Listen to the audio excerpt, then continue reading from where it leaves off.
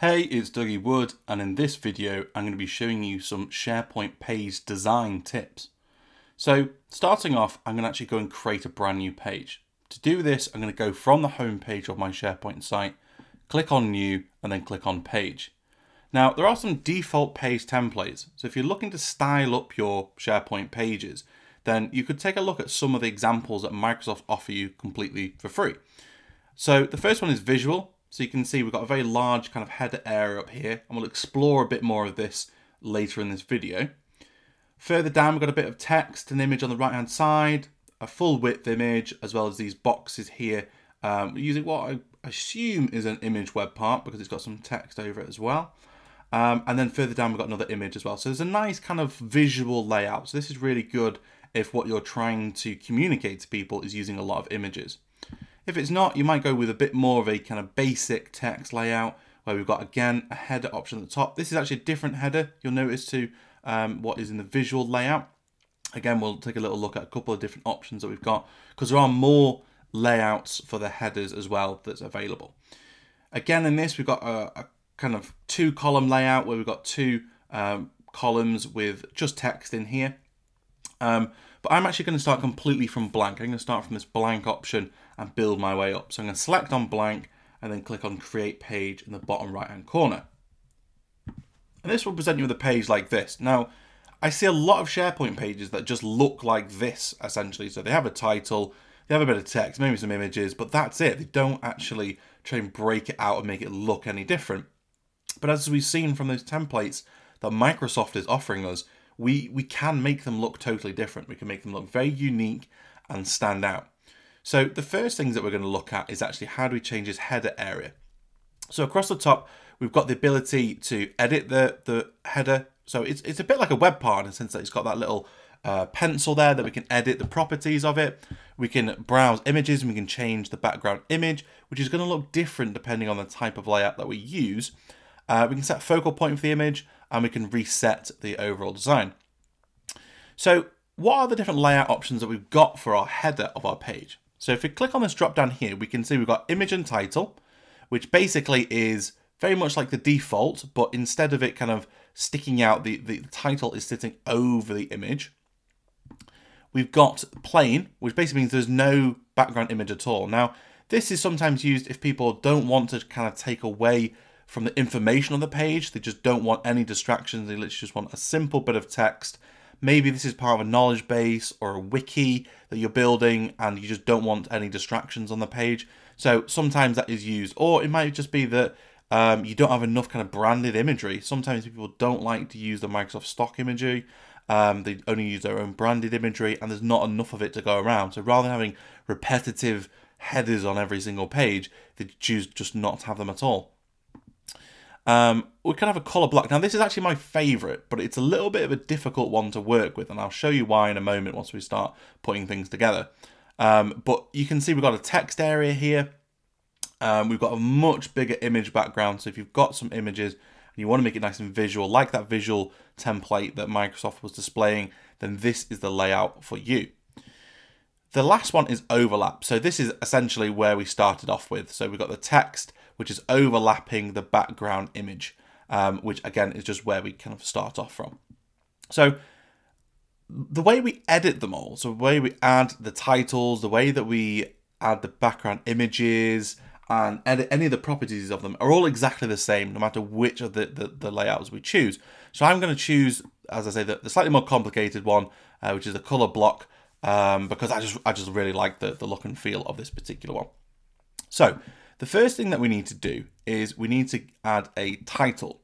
Now, bearing in mind, this, this is the title of the actual page, um, and it's also going to be the title when, when you can't quite see it, the URL that's just off the screen, but um, in site pages, this is going to be the name of the page as well. Now, the reason why I say this gets a bit complicated is because this box almost demands like a lot of text. Um, so if I put into here to say this is a page title, that's already a very long title for, for a particular page. But you can see that it almost wants to have more text like that to fill up the, this space. That's as far as we can go with it. Um, so that would be a very, very long title in, in that particular case. Um, so I'm just going to say that maybe this is going to be a kind of almost like an FAQ page. So I'm going to call this a how to complete an XYZ form for a request or something like that. Okay. Now, the next thing that you can do is if you click on this edit web part button across the top, you can see, well, for a start, we can change the layouts again, so you don't need to use that, that drop down. And you can see what that title would now look like if I was to go with the plain option, the image and title option, or the overlap option. But I'm going to stick with color block for now. Now, we've got some options here for alignment. So we could align this box to the left, or we can align it to the center. If I'm totally honest, I don't really like aligning it to the center. I do see people using it like that, but to me, it just feels like a bit of a kind of drop in the ocean in the fact that it's kind of just sat in the middle of the page. A lot of people nowadays have very wide screens and all of this is responsive. So it's going to feel even more stranded as a kind of little box in the middle of a page. Um, so I actually do prefer to keep it on the left-hand side, if I'm totally honest. Again, it will slightly depend on what the background image that you, we change in a moment, depending on what we use there. That will also sort of help determine whether we center align it or not. Now, this next box is something that you, I think you only get actually if it's, oh no, we get it in a couple of these different options now. I can eat my own words, but we've got this text above title option. So I tend to use this as a kind of label for the page, uh, maybe like what it relates to or category or let's say for example that this is I'm building this as a knowledge base or a wiki or something like that and this particular page relates to a department Maybe this one relates to HR, for example, or marketing, or sales. And now you can see it's changing this box every time that I change that, that, that, that text above title. There we go. So now we've got our um, text above the title. I can choose whether I want to show the text block above the title. So I can just choose this to show on and off if I wanted to.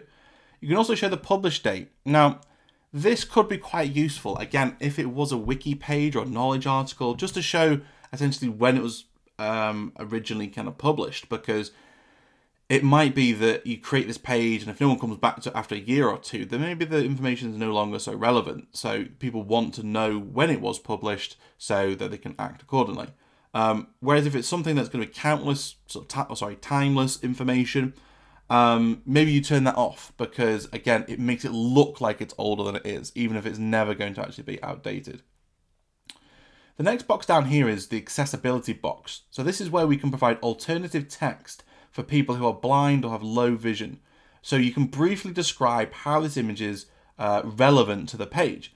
Now, if it is just for sort of decorative reasons, this background, we don't necessarily need to um, provide that accessibility text. But if it was something that was going to give a bit more context to the page, um, uh, obviously we want to be inclusive and make sure that everybody that's using this page finds it as accessible as possible. So you can just untick that and you can provide a bit of a description, alternative text for your image here. If not, mark is decorative and we don't need to use that box.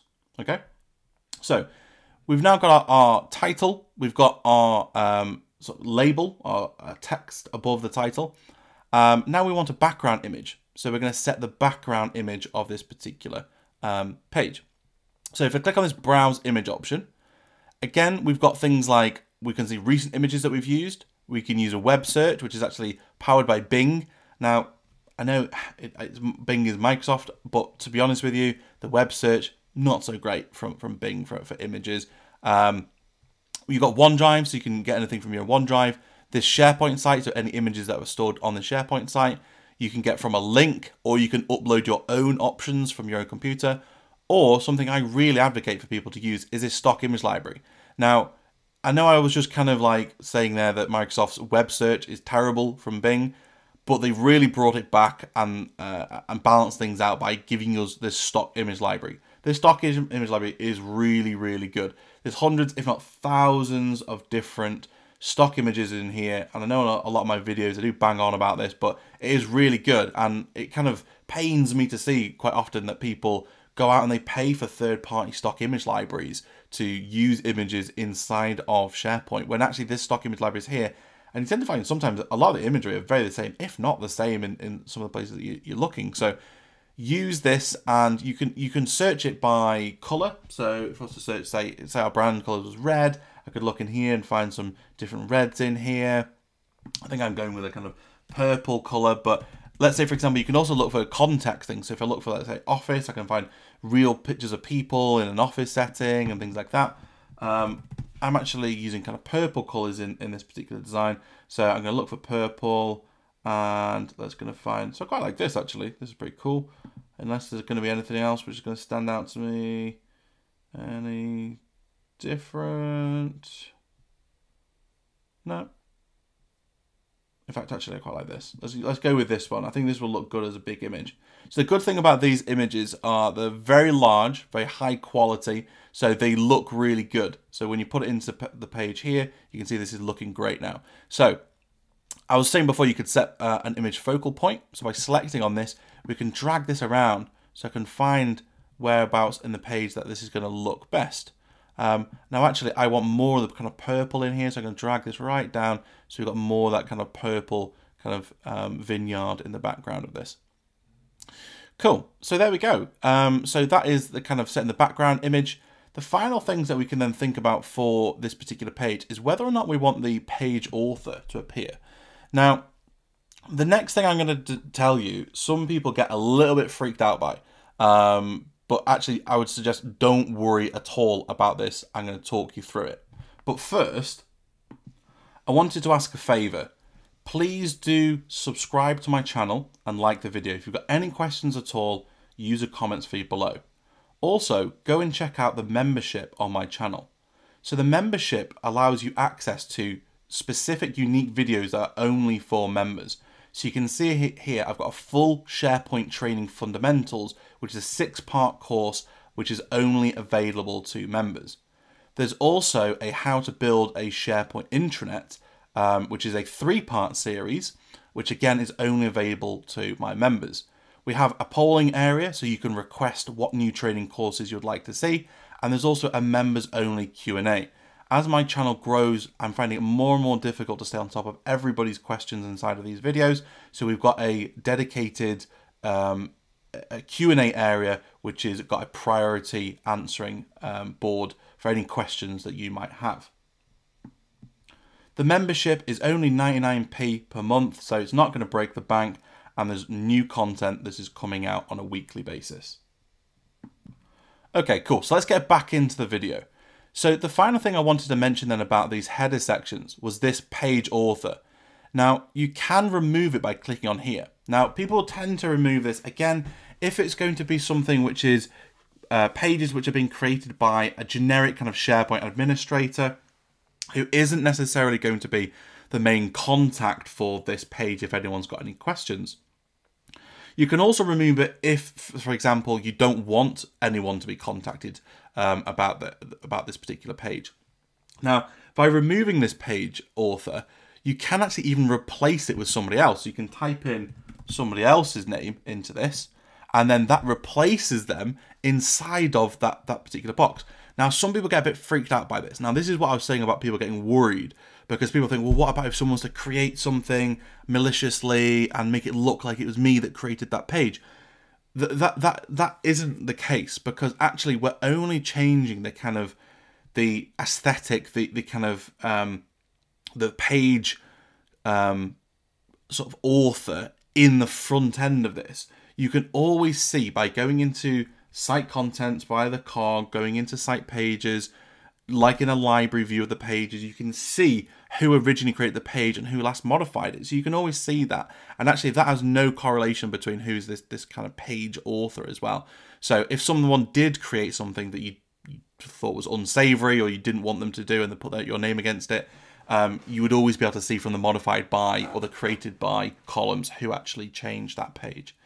Um, but essentially this page author box is more used for, say for example, um, these are Q&As or FAQs or a wiki or knowledge base related to human resources and actually there was a particular contact for this particular question, they might not have even created the page themselves. It might be a generic SharePoint admin, an intranet manager, comms manager, someone like that has created that page on their behalf, and then they're putting that person's contact uh, there. So once they click on them, they can see their contact information, email address, phone numbers, things like that, which are going to pop up when they, they click on that to make it easier for people to contact them.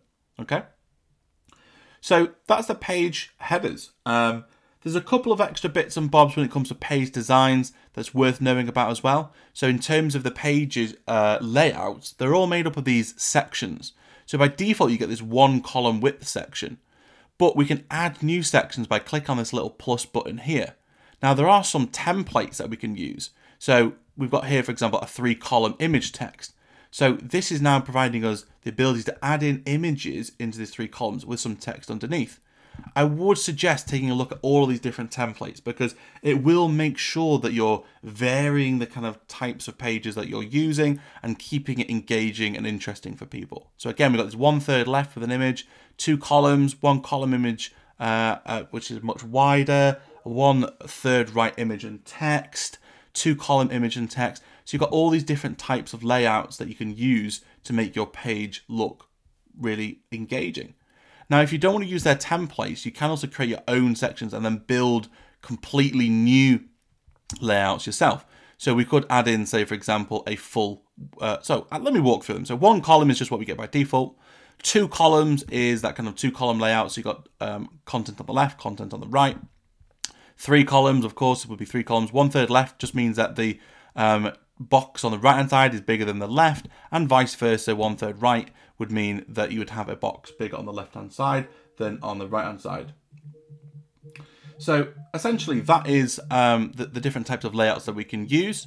We can then add web parts into these particular layouts by clicking on this um, plus button on the right hand side and then we can see all the different web parts that we can add. Now I'm not going to go through all the different web parts in this, but I would suggest take a look at the different ones because they will all um, essentially allow you to build different kind of functionality into your pages, engaging with different Microsoft products, um, or embedding external things like Twitter or YouTube videos in there as well.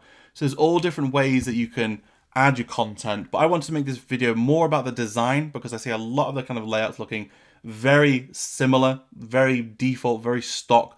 But as we can see, we can change the design, the layout of the page in a lot of different ways. I hope you enjoyed that video. And if you did, please do like, subscribe to my channel, and go and check out the membership area for exclusive content. Thank you for watching.